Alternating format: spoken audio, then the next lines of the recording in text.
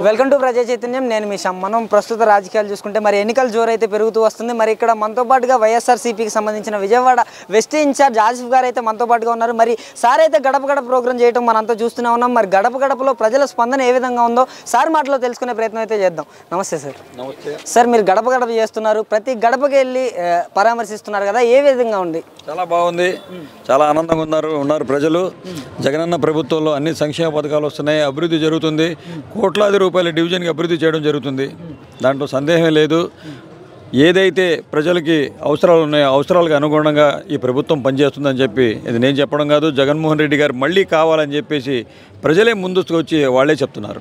Sir మరి విజయవాడ వెస్ట్లో ఏ విధంగా ఉండబోతున్నాయి రాజకీయాలు? మరి చంద్రబాబు పవన్ కళ్యాణ్ కూటమి వల్ల మీకు మీకు ఏమైనా ఇబ్బంది వచ్చే అవకాశం ఏమైనా ఉందంటారా మీ ఏరియాకి?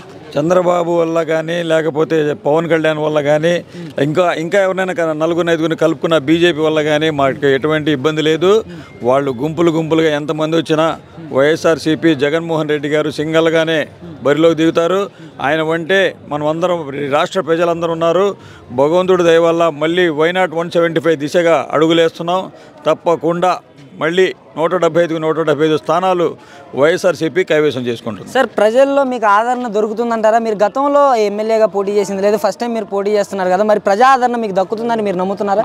నేను గతంలో ఇక్కడ ఒక సమన్వయకర్తగా పనిచేశాను కార్పొరేటర్గా ఫార్టీ డివిజన్కి ఉన్నాను నేను అలాగే ఆంధ్రప్రదేశ్ మైనార్టీ ఫైనాన్స్ కార్పొరేషన్ చైర్మన్గా ఉన్నాను అనేక పదవులు పొంది ఉన్నాను నేను.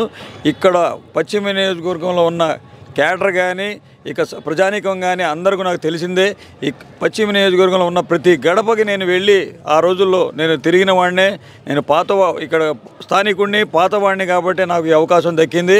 ముఖ్యంగా ముస్లిం మైనార్టీలకి సీటు కేటాయించాలి. విజయవాడ నుంచి ఇచ్చాపురం దాకా ఏ ఒక్క ముస్లిం కూడా లేరు. ఇక్కడ సామాజిక వర్ణ సమీకరణలు బట్టి ఇక్కడ టికెట్ని కేటాయించడం జరిగింది. తప్పకుండా ప్రజల ఆదరాభిమానాలతోనే ముందుకెళ్తాను ప్రజల్లో మమేకమవుతాను ప్రజలతో ఏ అవసరం ఉన్నా సరే అందుబాటులో ఉంటాను.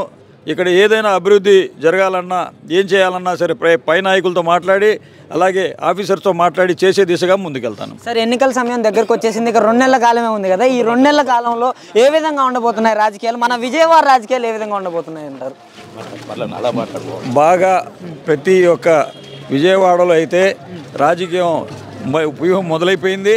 తప్పకుండా వైఎస్ఆర్సీపీ ఎక్కడ ఏ విధమైన వెనకడుగు వేయకుండా ముందుకు దూసుకెళ్తుందని చెప్పేసి నేను తెలియజేసుకుంటున్నాను. సార్ మరి గతంలో కేసినేని నాని గారు అయితే టీడీపీకి ఉండటం జరిగింది. మరి ఇప్పుడు ఆయన వైసీపీలో ఉన్నారు కదా. ఈ ఏదైనా ఓట్ బ్యాంకింగ్ ఏమైనా చీలే అవకాశం ఉందంటారా? ఇంకా వైఎస్ఆర్సీపీకి ఇంకా ప్లస్ అయింది ఓట్ బ్యాంకు.